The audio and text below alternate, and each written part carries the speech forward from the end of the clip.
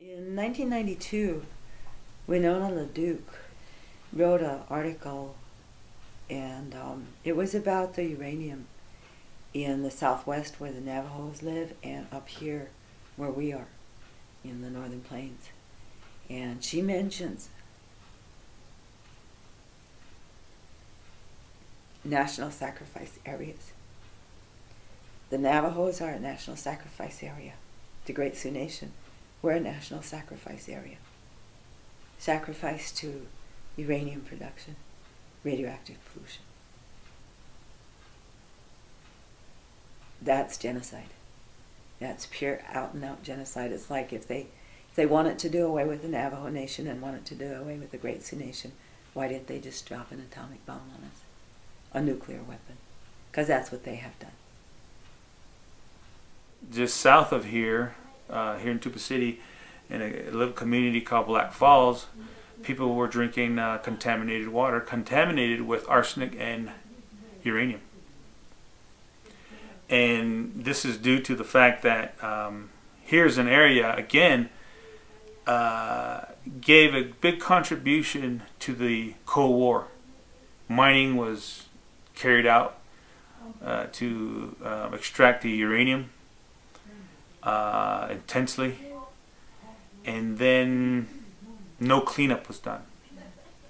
They just abandoned, took everything, and uh, and and um, left everything behind. As a result of that, where these old springs were, they got contaminated. Our treaty territory covers Montana, North Dakota, Wyoming, and Nebraska too, parts of those areas, as the breadbasket of the world, because it's an, these are all agricultural states. They breed cows for beef, and then all the wheat, corn, soybeans, a whole lot of um, rye, oats, a lot of um, agricultural products.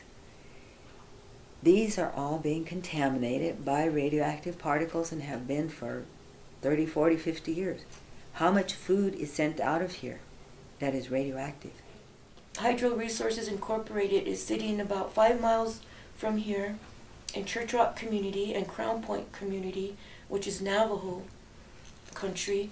And there's they've been sitting here for the past 25 years uh, waiting to open up these uranium mines with a technology that's called in situ uranium and it threatens our groundwater our aquifer our drinking water which is, has one of the most um, pristine water um, in this area and it serves about 30,000 um, families they still do active mining and they're trying to build new mines and so then, in order to get away from the word uranium, they don't talk about the radioactive qualities of rare earth elements. So now you see new applications for rare earth mining. There are, uh, this woman, uh, non-Indian woman, did a uh, study, a research study, and she found through EPA, the EPA uh, documents, that within our treaty territory, there are 2,885 abandoned open pit uranium mines and prospects. But the other part is that the coal that comes out of here is laced with uranium. They never talk about that. All the coal that's shipped to both the East Coast and West Coast from Wyoming or North Dakota is laced with uranium. All the coal-fired power plants in Wyoming and North Dakota that burn this coal, that smoke that comes over the Black Hills comes onto all of the people has uranium particles, radioactive particles in it, because the United States does not monitor or regulate radioactive particles from coal-fired power plants. We in this region have the highest rate of lung cancer in the whole United States. When the bottom fell out of the um, uh, uranium in the 70s, right after Three Mile Island, all of these companies just left. They left uh, and they weren't just big companies either. They could have been just a rancher mining in his one of his fields, and they just left him there. States around here, no way will the congressmen or the senators ever want to talk about it because these states also rely on tourism. Mount Rushmore. How many tourists, of the three million tourists, will come here if they know that when they're drinking water in these motels in Rapid City, that water contains uranium.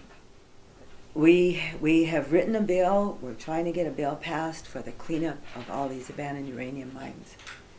When we talk about freedom, we, we don't want to be slaves to the utility companies as well. We want housing that's 90% energy efficient. We want energy produced through their father, um, sun, and we want energy from our, our winds. You know, there's ways that we can create our communities that were that we can um, honor our traditional teachings. we, we need to go back to our roots, back to the way our forefathers and and our our uh, grandmothers uh, taught about um, take care of the land. That we are just here to um, borrow the land. And It's the whole country that needs to wake up. Every senator and congressman in this country should want to pass our little bill to clean up all these abandoned uranium mines and to put a moratorium on new mining until all of this whole country is clean again. It's dirty right now. It's polluted with radioactive particles, and nobody knows. You know, as we rise up, I don't care what community it is. You know, we're rising up to the corporate beast. It's a monster, and uh, we're in our legends we have monster slayers, and today we need modern day monster slayers in the legal area and environmental area, and in um, building the capacity of the communities to, to raise their voices and not to be afraid. It should be on the front pages like of the New York Times or Washington Post, but it's not. Why? Do they want the Americans also not to know of the danger that's coming to everybody? It's not just us. We're just the miner's canary. Um, as did people, native people, that um, we want to pursue a way of life that was uh, sustainable and was a way of life that our forefathers lived, where they um, had their flock of sheep and goats and and they uh, managed the land to where um, uh, they could um, uh, maintain a, a, a lifestyle that afforded them um, a good life. We, human beings, are also the pollen of the universe. That's who we are, and we must preserve the sacred and the sanctity of our, our ancient teachings and our old ways. It takes all of us, red, yellow, black, and white, to make this happen.